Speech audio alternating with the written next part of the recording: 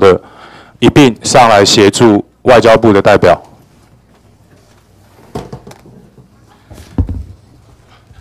这几天哦，我看我们哦相关的媒体还有官员在发言的时候，把重要的基本概念呢全部混淆，乱七八糟的东西啊，敢在媒体上面随便乱讲，误导国人对于这件事情严重性的认识。我现在啊，先请教外交部，这一次的事件当中，我国的国民被中国从肯亚带到中国，是属于下面哪下面这四种哪一类的行为？是引渡、遣返、刑事管辖权的移转，还是非法绑架？外交部。在外交部立场，我们是认为是非法的抢人了。陆委会，我们觉得像刚刚也有提过，今天早上那那二没有啦，那个主委，那我的22个法这个是一个很清楚的法律问题。二十二个人是是 deportation，就是有关是遣返啊，这二十二个人是遣返。是他是因为他不不受欢迎，所以把他们送走。OK，好，这个是你现在给的法律答案嘛？这我我今天早上听听到这个刚刚呃那个提到陆委会法政处的处长有到吗？你采取的是不是相同的法律见解？那二十二个是驱逐出境，他不受欢迎。对，那我现在不是只有离开肯雅，从肯还有从肯雅到中国这一段呢、呃，肯亚跟呃中国大陆这一段哦，那因为他们双边到底有没有这个引渡的一个关系，我们并不清楚。你到现在还不知道中国跟肯亚有是不是有引渡的条约？没有，没有吧？没有。所以你现在从陆委会的角度认为这是 deportation 就对了，是吗？那他们是用 deportation 的方式了，再把他这这些人送走的。那从人带到中国呢？是不是非法绑架？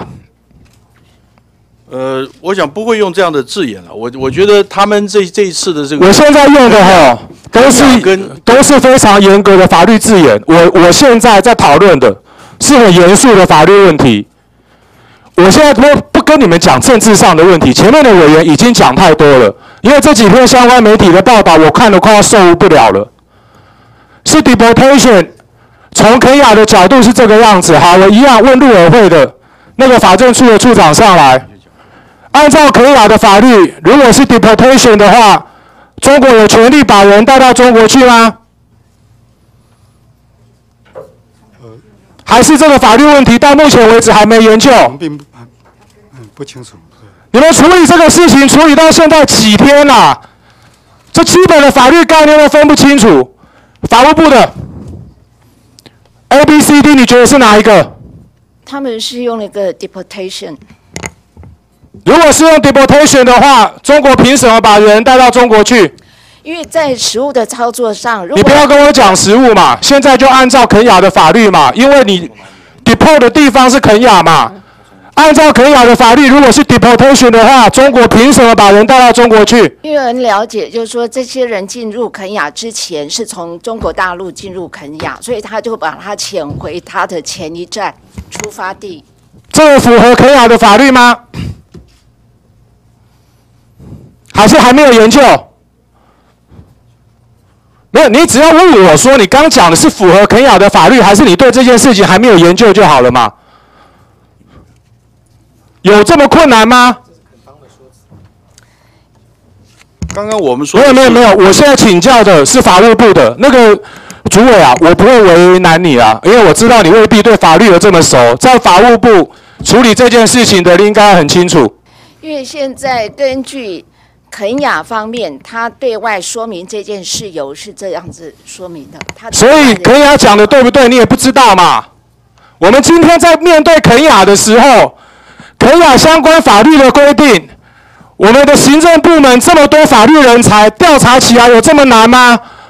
我我昨天上网我去看肯雅的法律，有关于 deportation 的法律、引渡的法律，我马上就看完了。啊，你们连对方的法律都搞不清楚，那你们是要去跟人家谈判什么啊？事情还没有结束。来，法务部的。有一个媒体说哦，法务部的高层讲什么？我念给你听哦。法务部高层指出，肯亚当局逮到人，先在当地审判，判决无罪，再把人交给大陆审理。八人在大陆诈骗的犯罪，其实是符合国际管辖原则。这个高层是谁？因为这个记者的报道他并没有指出来，所以我不知道他实际是。这个是不是法务部的立场？我想说明的是，就是说在处理这件事啊，我们是照顾国民没有错，我们也是维护国人的人权，但是我们不能忽略追诉犯罪、打击犯罪。没有啊，追诉犯罪、打击犯罪，这我知道，因为我跟你都是法律人呐、所以我现在讲话会非常的精确，我不会用政治的语言跟你讲，师长你不用担心啊，我只问一个问题啊，这个法务部的高层知不知道是谁？你不知道吗我？不晓得。代不代表法务部的立场？代不代表法务部的立场？这个可能要看那个，就是说记者访问，因为他我不知道没有嘛，我刚刚念出来的这段文字嘛，肯亚当局逮到人，先在当地审判无罪，后来交给大陆审判八人在大陆的犯罪符合国际管辖原则，这是不是法务部的立场？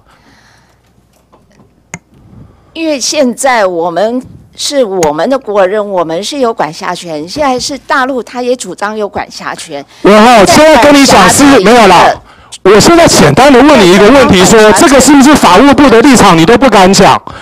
我们现在先处理两个事情啊，任何的刑事犯罪管辖权是一个问题，至于说被告的人生如何到有管辖权的法院，是另外一个层次的问题，这是两个完全不同层次的问题。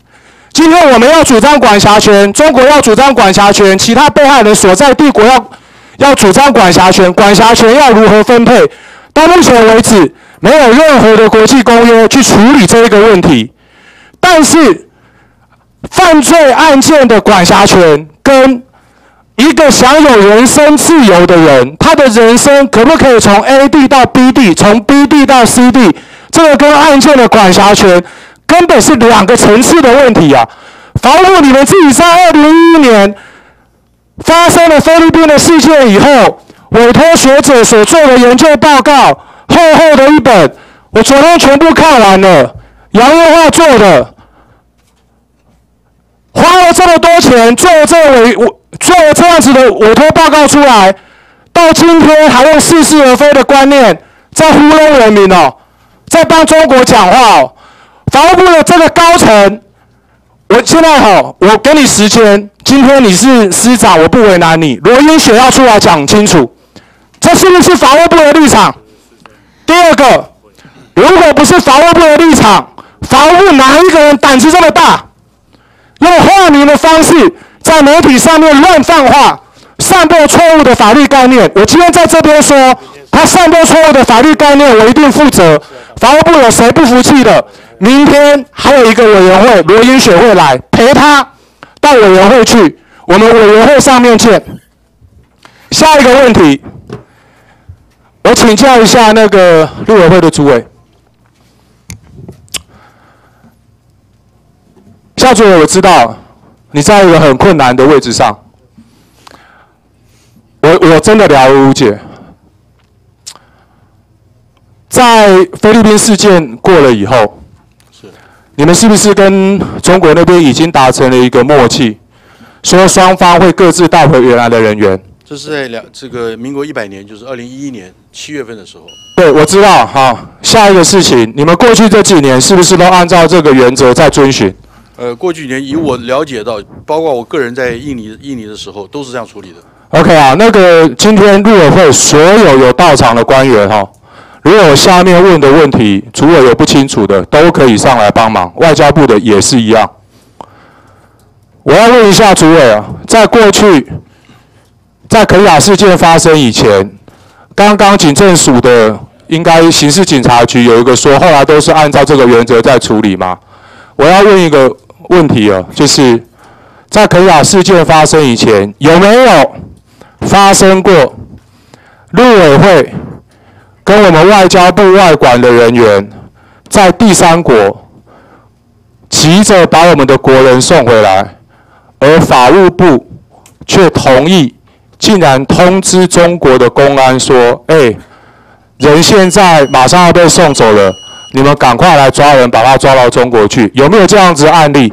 我提醒主委哦，现在立法院在这里面，虽然我们的国会调查权不彰，说谎没有关系，但是我相信。主委，你是一个非常重视清誉的人。相关的公务人员如果说谎的话，接下来责任我们一定追究。主委，对我刚刚所问的那个问题，您不知道可以说不知道，但是如果知道，请你据实回答。我在整个事情呃并不是非常清楚，不过在人回来之前，呃，我们是完全争取这个人要回来。没有啦，你们去接人的时候，外交部去接人的时候，法务部有没有在后面做这个小动作？去接人的人一定知道嘛。现在我是先保护所有相关的当事人，我都不点名是哪一个事情，我也不点名是哪些人，但是这个原则很重要。为什么我说原则很重要？这几天事情的发展啊，让我们看的是我们的陆委会敢说，我们应该要去中国，赶快把人接回来。我们的法务部今天书面呢、提了三点的要求，来，请法务部的代表。本部对陆方提出三项诉求，里面为什么没有要把人带回来？这个是我们过去几天的处理的方式，我们提出对陆方提出的诉求。那现在是要进入派员组团过去协商的阶段。所以法务部的立场是不是要把人带回来？这个从打击犯罪、合作打击，我们不能忽视犯罪这个因素。那所以你们的立场就是没有要把人带回来嘛？回归事理的本质。对啊，我就有没有啦？刚刚就事理的本质，我已经跟你讲过了嘛。我们明天继续委员会见了，还还有续集啊。现在你只要简单问回答我的问题，把人带回来，现在并不是法务部的要求，对不对？不是我们，这是不是法务部的要求嘛？是法务是法务部的要求，所以你们现在也赞成应该要去中国把人带回来，对不对？这是我们要协商的议题诉求之一。对，之一嘛还是要，之一包括说站在法务部的立场主张是应该要把人带回来，对不对？我们会这样子主张。OK，好没有啦我我管哦辖的一个，不管你们什么时候要去中国，我只要确保我们国家派出去的队伍没有两种声音呐、有人是急着要把人带回来，有人是在背后扯后腿，说人留在那边审判就好了，带回来干嘛？我刚刚所提的那个问题，主席不好意思，在三十秒就好。外交部，我刚刚所提的那个问题，有没有发生这样子的例子？你们急着要把人带回来台湾，结果有法务部的去通知中国的人说，人在这里，你们赶快来把人带走。有没有这样子的事例？不知道说不知道，有就说有。我个人对这个案子没有了解。现在到目前为止，所有今天出席本委员会所有的事务官，有没有人知道这件事情？好，法务部的代表，有没有这样的事情发生过？我想这个个案，我讲的不是肯雅，在肯雅之前，对，那这个个案应该是法务部陆委会跟外交部都有联系，都有联系，而且都表达了一个意见，共同怎么处理这件事。那也有循行政程序往上报，因为这是跨部会的，有往上报，绝对所以你没有回答我的问题吧不是单一一件事。那最后没有，是不是单一的事件哦？随着时间的经过，真相会浮出来了。现在我只问你说，就你所知，我刚刚所说的这种事情有没有发生过？是哪一部分？我们的陆委会跟外交部要去外面接人，结果法务部有去通知中国的公安，说人在这里，你们赶快来把他带到中国去。那个，我给你两分钟。我我想这个部分应该是法务部表达，就是说这个人在呃台湾没有一个犯罪的连结因素，是不适合不适合接回来的。所以你们曾经跟中国的公安讲过，不适合接回来台湾，曾经讲过这种立场。陆委会跟外交部是急着去救人，你们是急着去通知中国的公安把人带到中国，这是我们的防务部吗不？是这个程序不是这样，因为刚才说过，这个是跨相关部会之间的一个业务。所以你们表达这样子的意见的时候，陆委会跟外交部的知不知道？你们说做台湾这边没有联系因素嘛，所以人不适合送回来台湾，这个是你刚刚说的嘛？这个意见，陆委会跟那个外交部都知道，而且这个决定是有往上报，因为这绝对不是法务部。好，你说往上报，报到什么层级？至少行政院那边有，然后也有。行政院最后所做决定的人是谁？现在在场包括夏主委，刚刚陆委会的，呃，刚法务部的已经证实哦。我刚刚讲那件事情是真的，他说我往上报，请问报到什么层级？以我的了解，这个案子，我想委员讲的是菲律宾的一个案子。这个以我了解，我们只有一个目标，就是把这个人争取回来。没有，但是法务部跟你的目标完全不一样啊。中间发生什么事情，我本人真的是不知道。可不可以哦？我今天拜托那个陈其迈、陈主委，呃，不，不好意思哦。陈其迈、陈昭伟，因为我不是本委员会的委员，某个程度上我只是列列席的啦。我我真的建请哦，那个。内政委员会的招委，这件事情一定要查个水落石出啊！我们国家的政府，有人是急着救人，有的是急着打电话叫中国的公安来绑人，这什么政府啊？开什么玩笑啊！刚刚法务部已经承认有网上报是行政院的层级，报到谁那边，谁最后做了什么决定？这件事情一定要水落石出，开什么玩笑？要不然以后。我如果跑去非洲，结果中国跟非洲的国家讲说，这个人他违反分裂国家法，他善善获国家分裂罪，然后我从非洲被遣送到中国去接受审判，然后我们的法务部说，对哦，那个犯罪联系因素你可能还要去送到中国去才对，怎么会有这么离谱的事情？没有关系啊，这个事情我会继续追下去哦。我我现在只有一个目标。不管你们什么时候去中国，这个政府出去的代表团队只有一个一个声音，就是把人带回来。我不希望法务部有任何的官员胆子这么大，在媒体上放话，说带去中国是符合国际案件管辖原则。你们今天回去清查，哪一个官员敢为这句话负责？明天，明天有另外一个委员会有针对这件事情排专案报告，我们委员会见。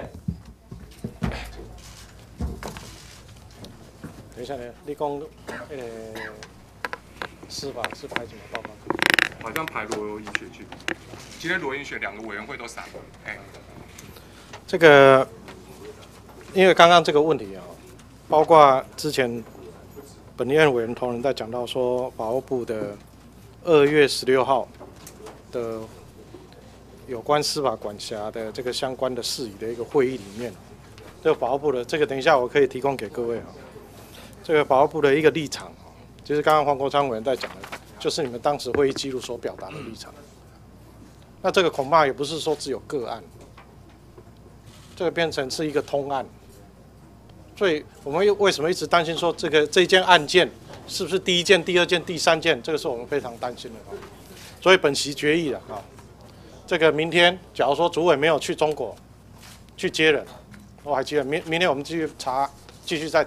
排专案报告再过来，好，然后刚刚讲的那个个案，把所有的相关往来的公文全部明天都提供给委员会，到底是行政院谁决定的？那中间参与的，因为刚刚保护部把这些相关的事项一下推给其他人都有参与，那有参与人全部都讲清楚，开什么玩笑？明天再继续排专案报告，明天政治现金就不审了。就把案件追清楚。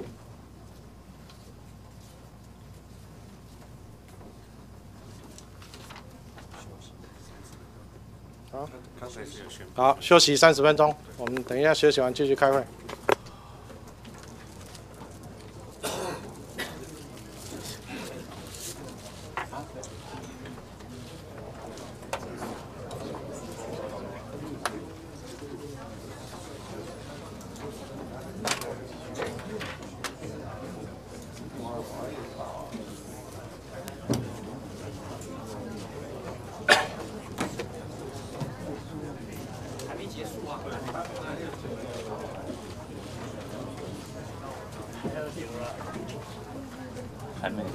还没